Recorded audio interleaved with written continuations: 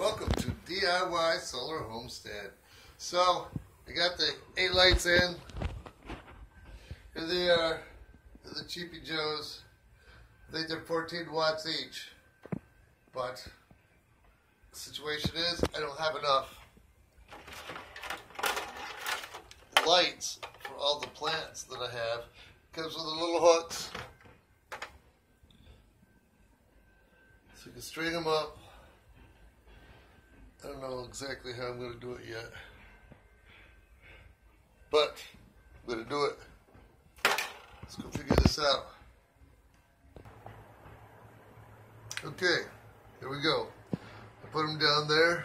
Now I have to go and get an extension cord that runs three ways. I get that covered right there. So, there we go.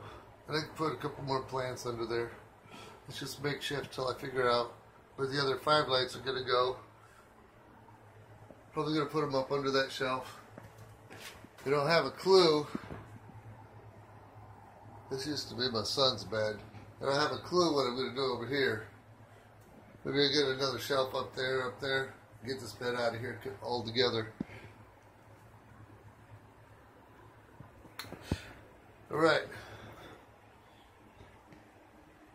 It is beautiful. I thought I had uh, peppers coming in here the other day, up here, with the flowers. They opened up, so maybe I'm not going to get peppers. Maybe I am. We'll see.